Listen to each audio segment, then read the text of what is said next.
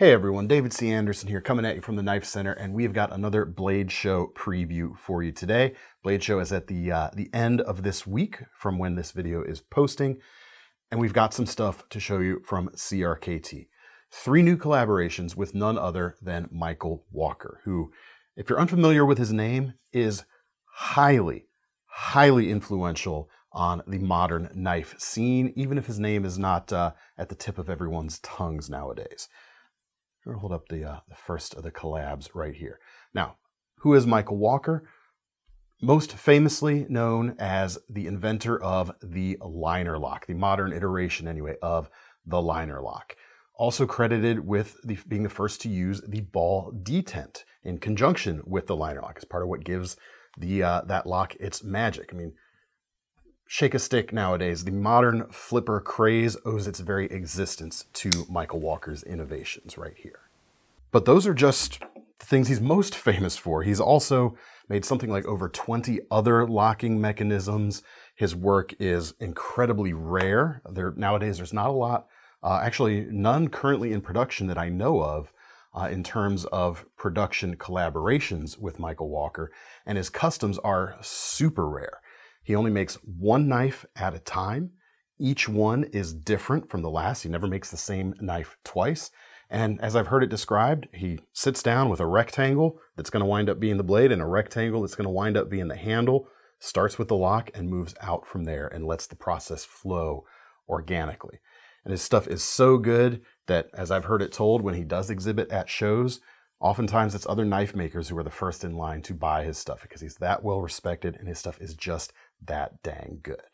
Given that admittedly very brief overview uh, and very abridged overview of the man's accomplishments, it's really cool to see a new production design collaboration on the market from Michael Walker, and it's especially cool for me at least to see it from CRKT as well. He's got some nice history with that brand.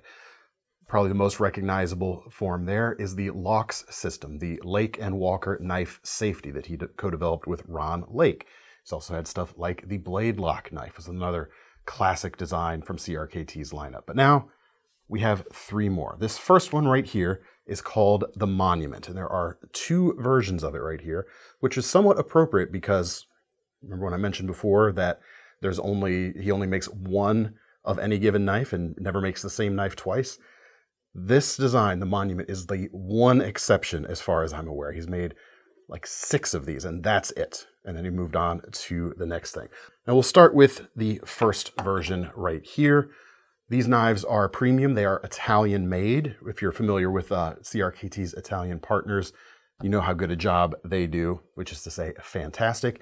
And a cool thing, Michael Walker got his start before making knives.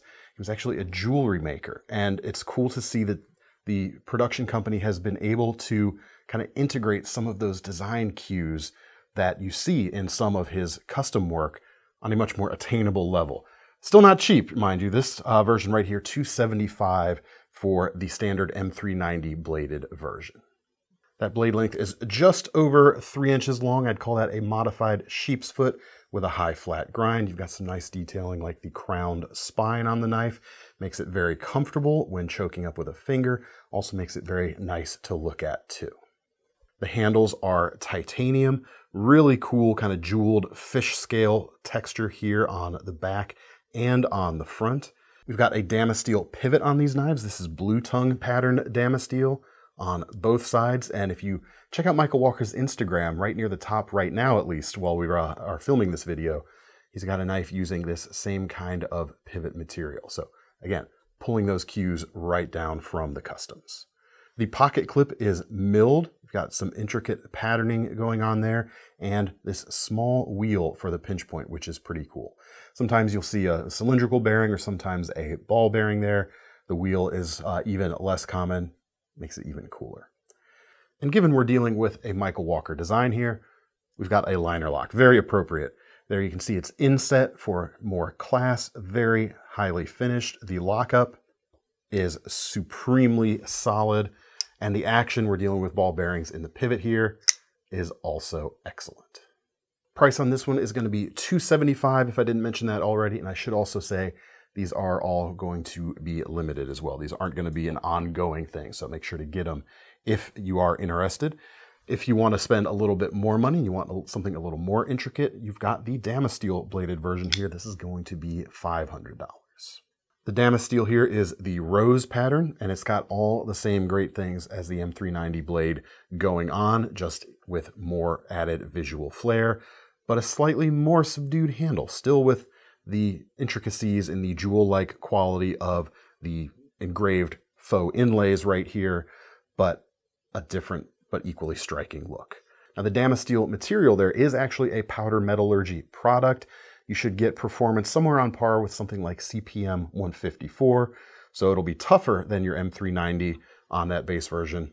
It's funny to think of a $275 version being the base version, but the M390 will give you more edge retention taken just between the two.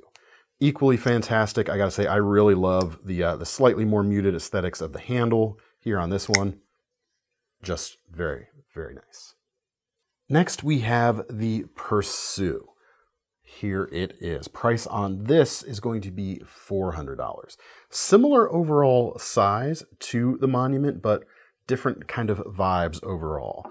The blade, of course, is a more conventional drop point design. This is the super dense twist Damasteel for the pattern.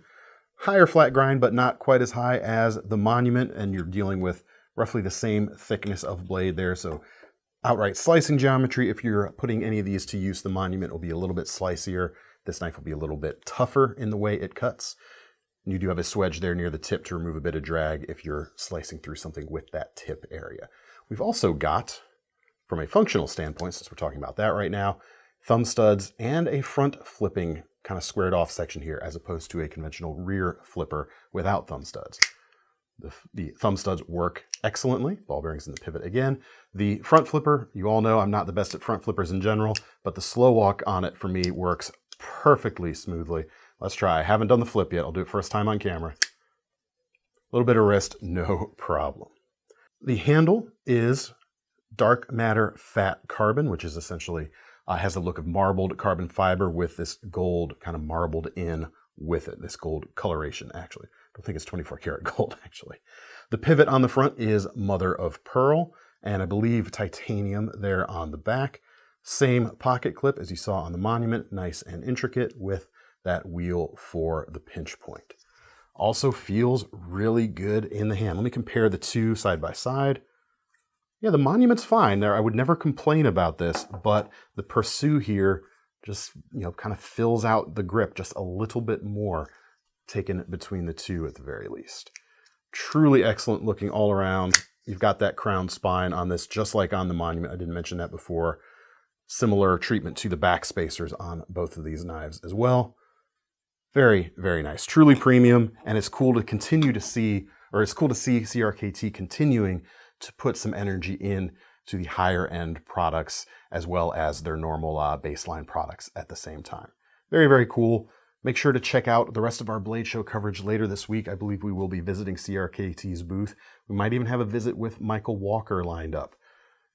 We'll see, we'll see how it goes. But in the meantime, check the links below for these knives. They are available for order right now by the time you're seeing this video. And don't forget about our Knife Rewards program as well, because if you're going to purchase one of these knives, sure would be nice to earn some free money to spend on a future one.